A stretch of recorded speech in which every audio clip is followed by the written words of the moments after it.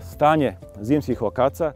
U ovom slučaju na prošlogodišnjem kondiru u glavi čokota se razvio jedan lastar i njega ćemo koristiti pošto je najniži dole. Pravilo, rekli smo pravilo kod rezidbe je da se uvek novi rodni element za zamenu, taj kondir za zamenu ostavlja što bliže glavi čokota, da se ne bi glava izduživala. Znači ovaj ćemo lastar ostaviti za novi kondir, a prošlogodišnji luk odbacujemo do osnove, s tim što ćemo ovaj lastar koji se razvio pri samoj osnovi luka u glavi čokota ostaviti za novi, novi luk.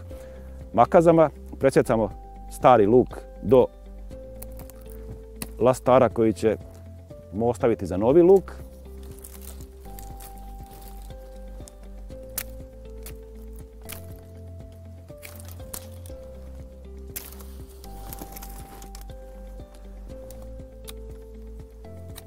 Eventualno skidamo ako ima neki zaperak. Rekli smo, kod rezidbe se skidaju jelovaci ukoliko ih ima ostavljenih u glavi čokota.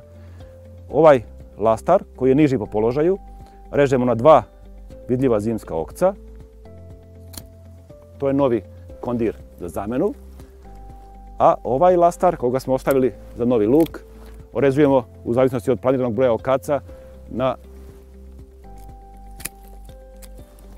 novi luk i najlakše ga je poviti i vezati za žicu kada krenu sokovi, znači posle rezidbe, tamo polovinom marta, on se povija i vezuje se po ovoj žici, tako da dobijemo novi luk.